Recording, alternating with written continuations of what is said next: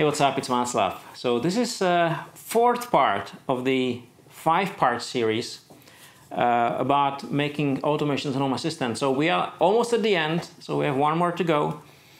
If you didn't watch the previous ones, you should really go back and watch them because really starting from the end makes no sense.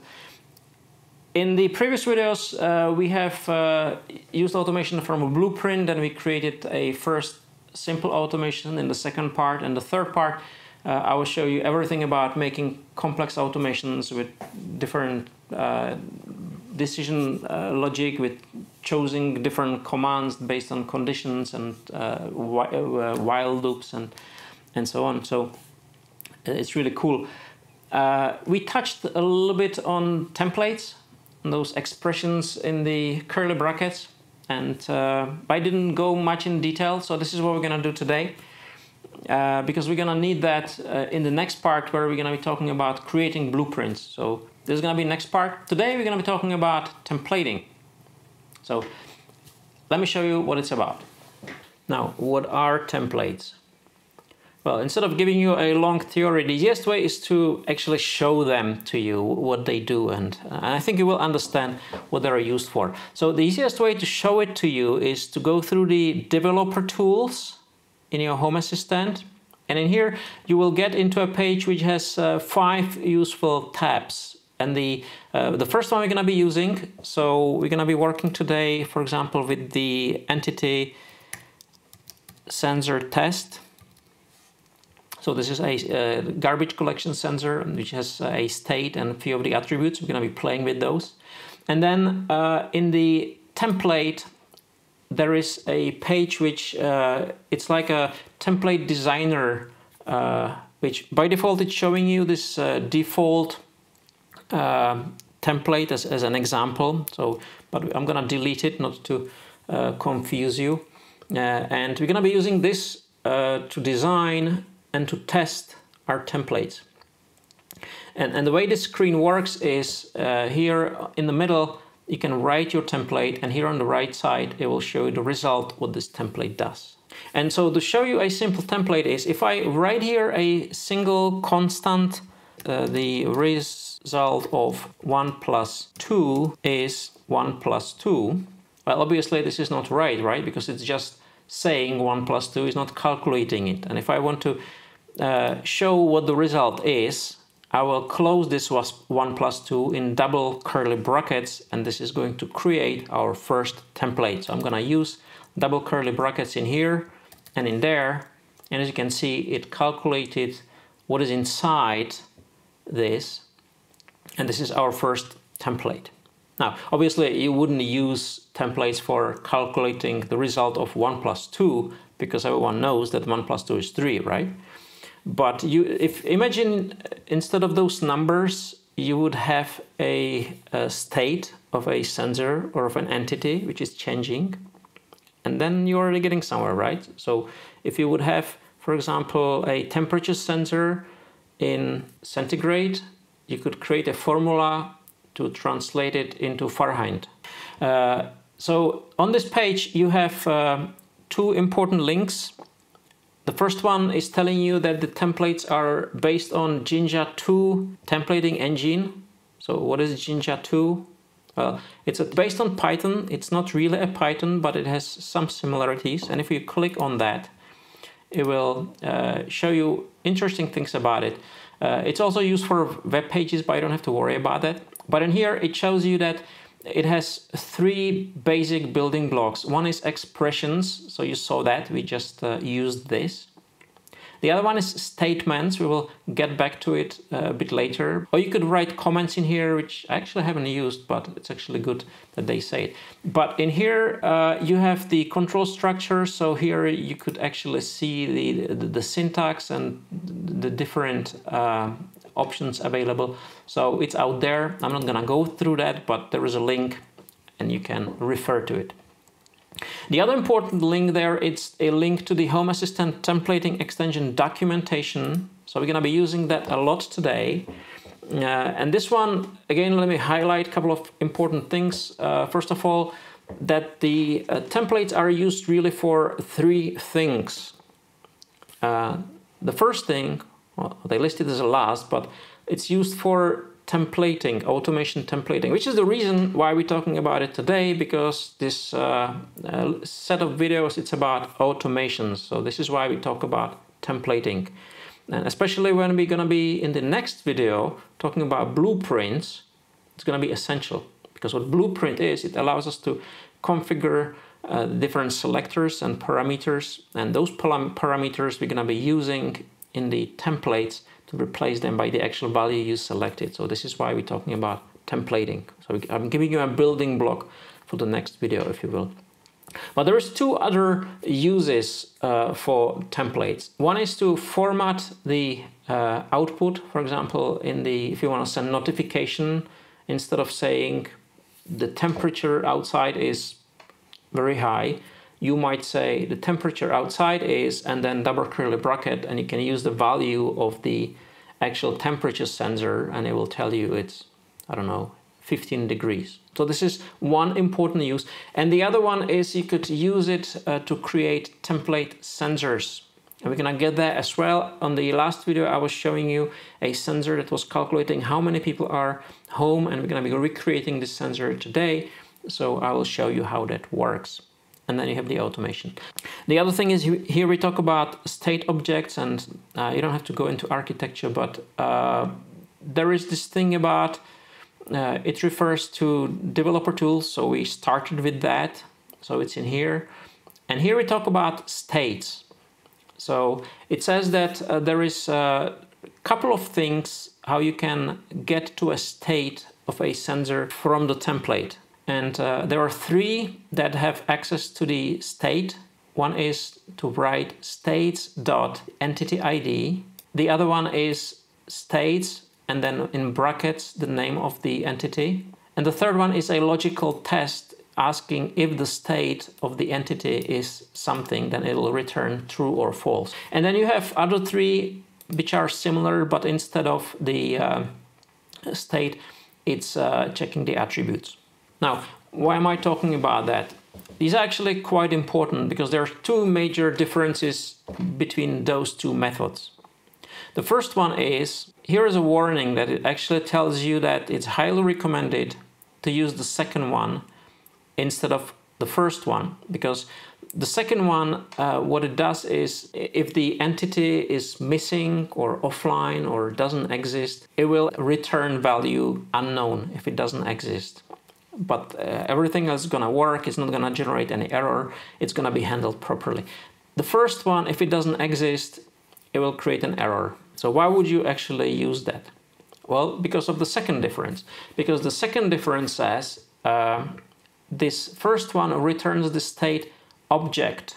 The second one will return state string. Stop talking. Let's uh, let me show you some so some demos. So I was showing you here this uh, object uh, sensor test. So uh, let's get to the well. Let's start with the state. So here I'm gonna go uh, for the double curly bracket and I will use the example state with the sensor test and I will close the double curly bracket and it will show you that it is 2 right? So this is the value of this uh, sensor state. Well not very interesting. Uh, the second example what I'm gonna use we're gonna go uh, for the attribute. So we're gonna go uh, for the state attribute and here it's gonna be in quote sensor test. And here it's gonna be the attribute. I will go for days so it'll show us number six. So I will say days so we have number six and uh, we can already do some formatting with it. So we can say days and it will show me as a result six days. So it's, it's already a nice example of formatting output. Whilst we in the days here in the Jinja 2 it was uh, we were saying that there is a statements or expressions. What we just did was use an expression. Let me show you what we can do with these statements. So first thing what I'm gonna do is I'm gonna actually define a variable I will say set days equal and I'm gonna actually copy this part and I'm going to close that so if I will now write days it will show the same thing. It will show number six. It showed me this blank line Uh, and if I want to get rid of this blank line, I need to put minus in here. So this is one of those uh, things about the Jinja that it has those weird formatting things.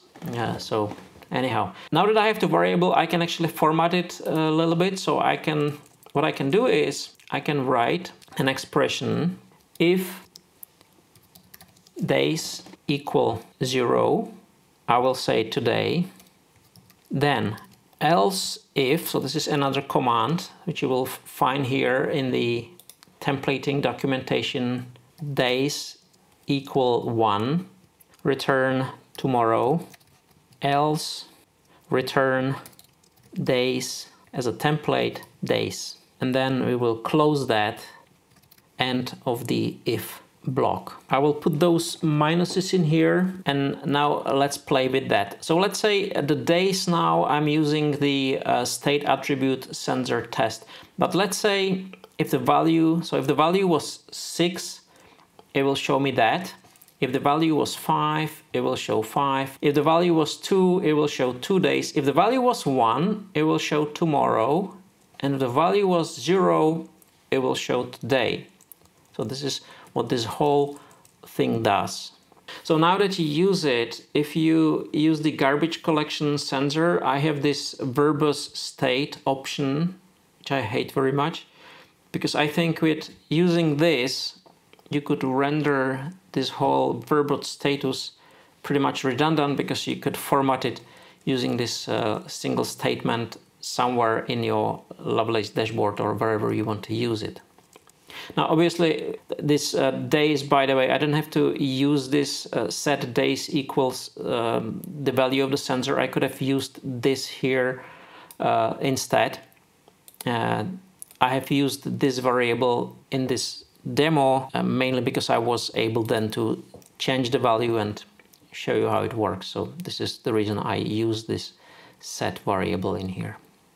Okay, let me show you another example Let's go for the state attribute and I'm not gonna use days, but I'm gonna go for the next date. So this is the value of the next date, which is a date and time in the standard format, which is a year, month, date, and then there is this T and the time and, and the time zone, which is kind of ugly, but this is the standard format. So let's do something with it. So it's called next date. So I'm gonna just copy this whole thing but instead of days, I'm gonna say next date. So it's showing me uh, the very same thing as uh, in this tab in here. But what I can do is I can use this pipe symbol, which is like this vertical line, and send the value into a command. And the command I'm gonna use, I'm gonna go to templating and I'm going to search command uh, F for date. There it is. So I'm gonna go for date and time it shows me a bunch of useful functions I can use for working. I can actually format it as timestamp and then there is also this function timestamp custom where we can use some formatting string to format the date in whatever we want. If I would just pipe this using this pipe symbol into as timestamp, it will show me this weird number and this is a Unix format timestamp. The reason why we're using it is because we can use this timestamp in the other functions. This timestamps, what it is, I think it's the number of seconds since the, I think, January 1st, 1970. But doesn't really matter. We're gonna use the function timestamp custom. And in here, uh, I can write a formatting string. So if I would write uh, percent y, it'll be year. So it's 2022. If I would write m, it's gonna be a month. And if I'm gonna be writing uh, percent day, it's gonna be the date. So we have this uh, this format. But if I wanna have it in different order, obviously what I can do is I can just uh, change it in whatever format and order I want. So, so now you know that you could actually do date formatting based on your country preference. There is a link to this whole documentation. There is lots of those different symbols. Uh, so for example, if I would write capital A, capital B, D, and Y, it's gonna say Wednesday, March 9, 2022. So here we go. Now you know how to format a date. There's also an interesting function time delta that you can use to offset a date by a specific number of hours, minutes, or even days. And we're gonna be using that later in the example, so remember that. Now, let's go for another example. I'm gonna actually use a calendar uh, with the English holidays. There is an attribute called holidays. So I'm gonna just copy the value of this one and it's called holidays. So I'm gonna go to the templates and uh, in here I'm going to go for state attr. So this is the entity and the attribute is called holidays. So it, it's quite interesting. So what I can do is I can use again uh, this statement. So I will do a uh, curly bracket percent and I'm gonna use this for statement and I'm gonna call it holiday in and I'm gonna copy that. And then I'm gonna display holiday and I'm going to close it by end for now again uh, I need to put those minuses in here to get it uh, a little bit cleaner. And here uh, I get the uh, list of those days because this is actually returning a dictionary and dictionary it's uh, it's a set of values where there is always one key and one value. So the key is this one and this is the value. So if I would actually say I'd like to get the value I would have to do something like I will just copy this in here and it's gonna get very ugly but I'm, don't worry I'm gonna simplify it a little bit. So I'm gonna do this and I, in a square brackets I'm gonna say the key and here it's going to uh, print the key and the value next to it. There are other ways to do it, actually easier ways, because I can say here I'm going to say it's gonna be a I'd like to return two values, date and holiday, but in here I would have to type something called items. Now, you don't have to worry about it, just remember it. But now what I can do is I can uh, simplify it and I can actually in here uh, write holiday and here I can say this is a date. So this is date and holiday and I have the same result just a little bit simpler.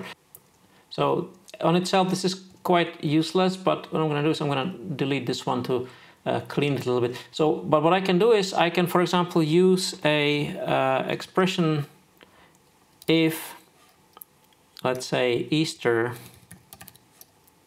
in holiday, and then I can do end if, and I would have to put uh, again those minuses in here to make it a little bit cleaner. And uh, here we go. So, so, now you have the three dates in 2021, 22, and 23 when there is an Easter Monday. So uh, now we're getting somewhere. Okay, so this uh, another useful example. Now there is one more thing. I have uh, promised you to come up with a template that is counting number of people that are home. Uh, and for that, we're going to use actually something similar as this dictionary. Um, and uh, the dictionary is this, right? You remember that. This is the set of a uh, key and the value. Now, what we're going to do is uh, we're going to use another thing here in the very top where we are. There we go. So we're using the states dot and the entity ID, but you can actually use it states and domain to get list of all the uh, entities in that domain and we're going to use that uh, for the um, for the presence so so we're to do that double curly brackets again and we're to use uh, states.person so let me see. If I do that it will show something template domain states person. Ugly thing. So if I would type in here person dot it will show me all of those persons and, and their states in here, right? So there is two people home, one is somewhere else and one is not home. So I have two people that are home. So let's try to calculate it in the template. So states person what I can do is if I would uh, pipe it into a list, it will kind of show me what you just saw. What I can do is here in the template, there is a command if I would uh, search again uh, called select attribute, which is working with groups. I can filter by this command select attribute. So let's do that. I will say here select attribute. Attribute is state because we're looking at state has to be equal home and I close that. So if I would list it again, now you see there's two of those, Clara and me. So this it returned me a list which is, list is something similar to dictionary, but it has a different format. But what I could do is, now that I have this list, I can actually count it. So I can count how many items there are in the list. And now it's two. So I could see that there is a two people at home. If I would say not home, so there is one person that is not home, but I really interested in number of people home. So I can have a, I can create a template sensor with this formula and I could use that as a condition in my automation. In fact, I do not have to create a uh, template sensor because I can use this as a condition in the automation itself. So I can here say equal equal one and it will tell me it's false because there is two people at home. I would say 2, it will tell me, yes, this is true, there is two people home. If I would have this condition in my automation, what it's gonna do is it will continue with the automation if there is one person at home. So now that uh, we have played with the templates, I'm gonna actually go through one of the automations for the uh, garbage collection holidays. We're gonna go through that and I'm gonna explain you how it works so you could see actually something real. So, so we're gonna look at the uh, automation move on holiday and uh, I'm gonna open it in this debug and show it in here in the automation config. And I will, I'm gonna walk you through, because by now we should understand what it actually does. So this automation, it has a trigger, we did it last time, we don't have to go through that. Then there is the variable uh, which we covered last time as well. Now you might be asking me why there is a variable. Well, the reason for that is this automation was created using a blueprint. This is the configuration of the blueprint. Now, I can also go through in here. If I go to this, uh, there is this uh, entity for the calendar, which is called calendar Swiss holidays. We're creating a variable that we can then use within uh, the templates. So then we have a, repeat loop. So we did that last time, right? Repeat loop, it basically loops this piece of code number of times. How many times there comes our template. So there is the count and it, the count is trigger event data collection dates and that's something if I would go into the changed variables. Now you, you see that this event was triggered by this event of the garbage collection loaded and it received together with that two attributes. First attribute is the entity ID, so this is the sensor which triggered that.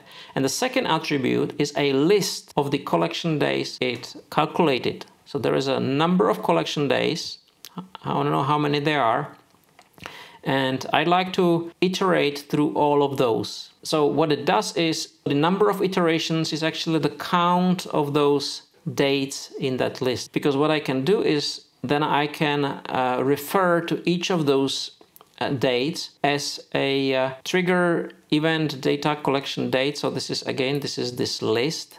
But in the square brackets, I can use this repeat index minus one. Now, what is repeat index? I think we covered that in the last video, but let me repeat. Repeat index is the variable that is automatically created for the repeat loops that is increasing automatically for each run. So the for the first run, it's going to be one. When it runs for the second time, it's going to be two, and so on. And I'm using it to refer to these items in this list, but those items in the list. They are numbered with the first one starting from zero. So this is item number zero, one, two, three, four, and so on.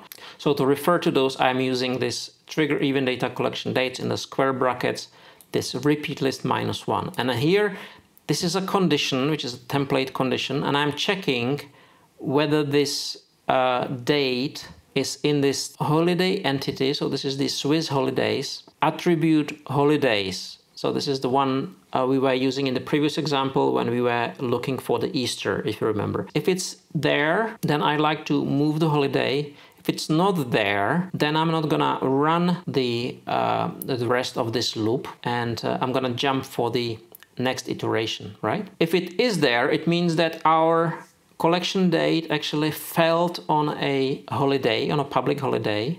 So I'm gonna trigger a service garbage collection offset date, which is a service which I created for the uh, garbage collection. And it has three parameters. One is the entity ID, which is the one that triggered the automation. The date, it's actually the date we want to move.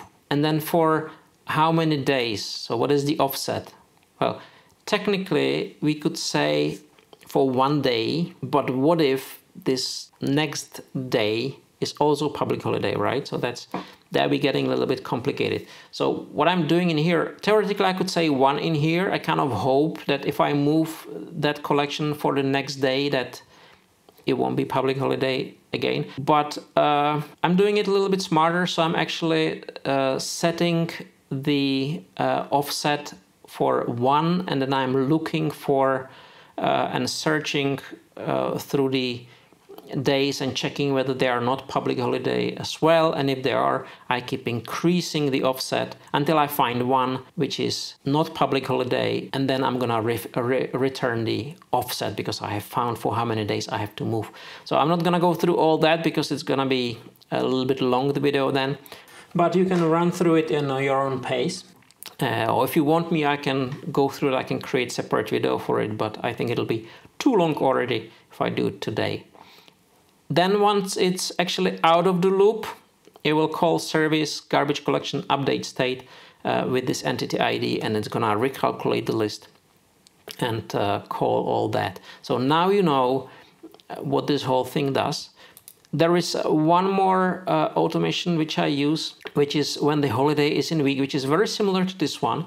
The only difference is uh, in the condition in here, I am uh, not only checking whether there is a public holiday on that specific day, but I'm checking all the days uh, in that week before that day. So I'm here having a for loop where I'm checking the days in that week before that. Otherwise, it's uh, exactly the same. Uh, but again, I'm not gonna go through that. Now, there is uh, one more thing before we end today. Uh, I'm here using this uh, ns, which is a namespace variable. I'd like to explain it a little bit. I know it's kind of complicated, advanced, but I think it's gonna help you. Uh, so I'm gonna delete all this. So let me let me show you an example and show you how, how that works and why I do that. So uh, let's say we have a variable called a, and I will call it equal one and I'm gonna close that. Now, uh, then I can uh, create a uh, sort of a loop in the template for i in range 5. So range 5 means it'll iterate 5 times from 1, 2, 3, 4, 5. So just to show you what the range does, if I would just uh, type in here in double curly brackets uh, the value of the i variable, uh, you will see that uh, for each pass it will increment from 0 to 4. Here I have to say set, right? Right, so again I forgot those uh, minuses. So this is what they do. So you see it's uh, it, it iterates five times from uh, 0 to 4, right? So this is what this for loop does. But this is not what I want to show you. I want to show you if I would increase a equals a plus 1. And when you do that, you would kind of expect that the a is going to be increasing. So at the end, if I print a, it should be 6, right? But it's still 1. Because there is something uh, which I hate about the Jinja, uh, which is called namespacing. Uh, and it means is if you have a nested block, so this is sort of a nested block, And if you if you do something with a variable in this nested block, if you get out of this nested block, the variables will be will be local to the nested block and uh, it, it, won't actually change outside of this block. So this is a stupid thing. But fortunately they have something called namespace and uh, I can create a variable called, I'm gonna say it's a namespace, let's, let's call it something else. Let's call it namespace, ns. And here I say a equals one. So I'm going, I'm creating a namespace and within this namespace, so it's like a global namespace and within this one, I'm creating variable and setting its value to one. And in here I can say ns dot a equals ns dot a plus one. And here if I would check ns dot a, now it's six. Uh, so this is sort of a workaround uh, for when you want to count something in the loop and then use it outside of this loop. Yes, I hate that. No, there's nothing I can do about that. This is not a home assistant thing. It's coming from Jinja. And uh, for that reason, if you would look at those automations in here, in there uh, you would see that I'm using those namespaces for the offset and for the boolean value whether it's been found or not because otherwise if I wouldn't do that I would just go through the loop and I will say yeah it was found it's true and then I'm gonna get outside of this nested block and it will still think that it's found is false or it wouldn't work so I have to use those namespaces uh, inside those nested blocks. Anyhow, so now I got a little bit deep. I guess I lost half of you, but if you survive, congratulations. And uh, I think I will end it in here for the templates today. So that's templating. I hope it helps you because templates, uh, they're used uh, all across Home Assistant, not only in automations and scripts, but you could also use them in sensors, and you can use them in the Lovelace UI. Yeah, so they're quite powerful actually. If you understand them, you have a key of uh, in, in, to really use the power uh, that is locked inside the Home Assistant. So I hope you find it useful. Uh, so I'm gonna finish the video here and uh, I see you in the next one. In the last video, we're gonna talking about creating our own blueprint. It's gonna be really pulling all the things that we have done so far together. So it's gonna be pretty easy uh, and uh, was pretty cool. So I'll see you in the next one. Bye.